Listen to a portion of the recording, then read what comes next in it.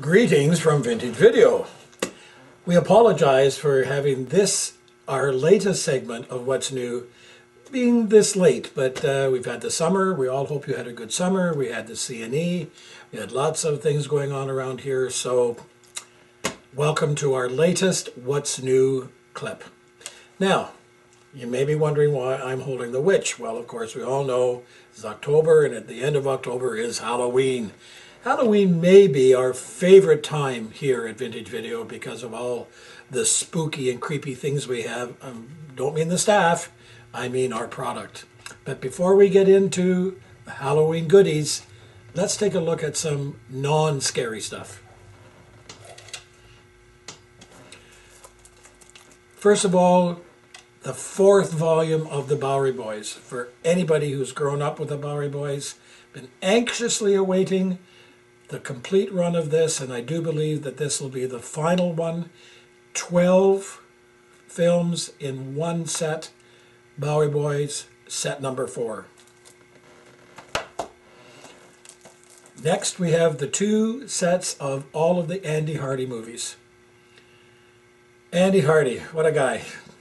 I don't think he'd probably survive in today's world, but it's nice to remember what things used to be like. Next, we have the character that Columbo was based on, Charlie Chan. False clue, like old fish, very smelly. I don't know about the rest of you folks, but I love Charlie Chan. I always have. There are seven volumes out now, which constitute the complete run of all the Charlie Chans, played by three different actors. Seven sets, all ready to go, and we have them all in stock. I see nothing. I know nothing. Well, we all know that. But it's my intro to Hogan's Heroes. The complete run of Hogan's Heroes in what is referred to now as the Commandant Collection. Hogan! England had Miss Marple. Warner Brothers had Hildegarde Withers spinstery old lady who solved all the murders that the police couldn't seem to get their heads around, but she could. The complete Hildegarde Withers collection from the Warner Archives. Marx Brothers, everything they did on television. Marx Brothers complete television collection. Baa Baa Black Sheep. For anyone who's interested in aviation, especially Corsairs and Robert Conrad. It's on for two seasons. Baa Baa Black Sheep telling the story of Papa Boyington and his flyers who were misfits from every other part of the Air Force. They sent them down to Papa Boyington and he whipped them up into, you know what they did to the Japanese Air Force. Finally, the Grace Kelly Collection all of her movies except for one, which was done for a different studio called 14 Hours, the Grace Kelly Collection. Now, for all you die-hard William Shatner fans, Barbary Coast with Doug McClure. Very, very early William Shatner in a cowboy hat. We are talking about Hildegarde Withers before with Miss Marple. Here is Margaret Rutherford, the four feature films that were done in England in the 50s. Miss Marple, not the television series, but the four feature films that were done in England in the 50s. To conclude this part, before we get into the Halloween stuff, I would like to show you some of the newest releases from the Warner Archive.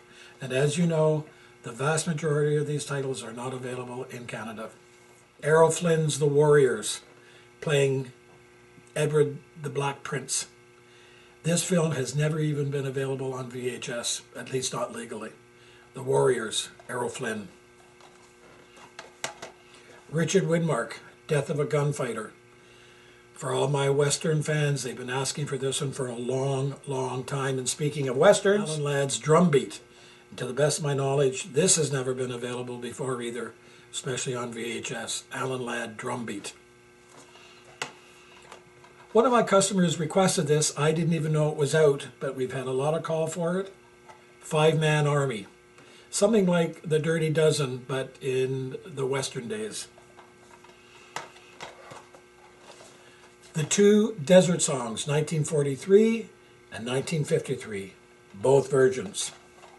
Now, for all you Ronald Reagan fans, before he became very popular as an actor, and of course before he became president, he did a series of detective aviation movies called Brass Bancroft.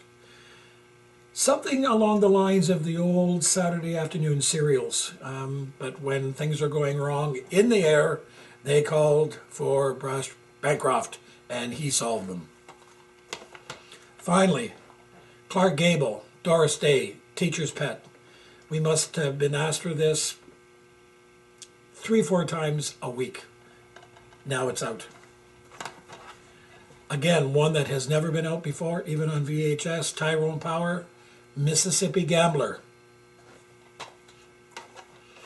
William Holden, The World of Suzie Wong. The original Showboat, directed by James Whale, who, as you people know, directed Frankenstein. And finally, Charlton Heston in The Hawaiians. This has been a long time coming, very, very uh, popular, goes along, it's a good companion one to his movie called Diamond Head. These are some of the latest releases from the Warner Archive, but as you regular customers know, we probably get in 20 to 30 new archive titles every month.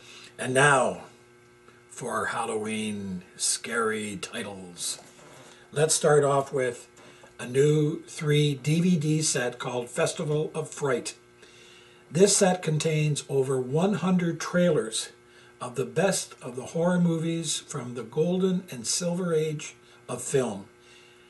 It's been very, very difficult to get any kind of DVD out that had trailers in good quality. Finally, it's here Festival of Fright. Moving on to the collection called the Hollywood Legends of Horror.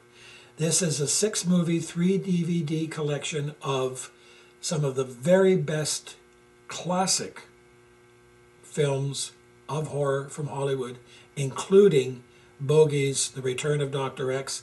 I bet you didn't realize that he made a horror movie. Eight of the best from the Hammer Studios, including Oliver Reed's Curse of the Werewolf, the best werewolf movie ever made. What would Halloween be without Kolchak and the Night Stalker series? This is the entire run of the TV series, and we also have the two feature films, The Night Stalker and The Night Strangler.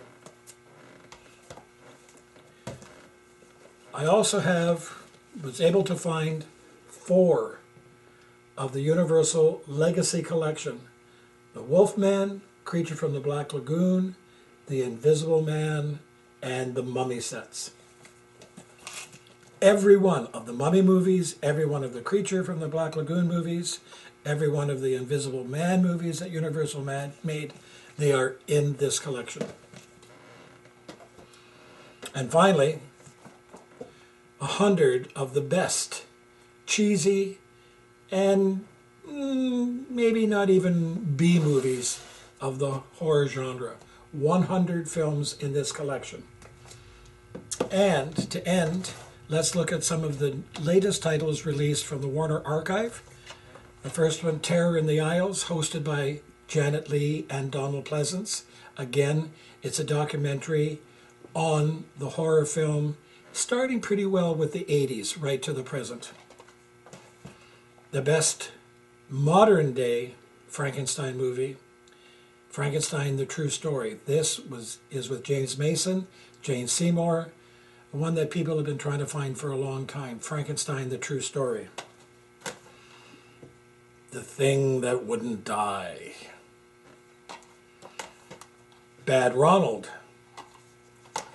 I wasn't aware of this one until one of my customers asked me to bring it in. Eye of the Devil, one of the very, very best Satan worshiping cult films. I know last time I told you about Killdozer. Got to remind you about Killdozer. Very good British. Burn Witch Burn. The Black Sleep with Lon Chaney and John Carradine. And certainly one of the best with a collection of people like Vincent Price, Christopher Lee, John Carradine, Peter Cushing, House of Long Shadows.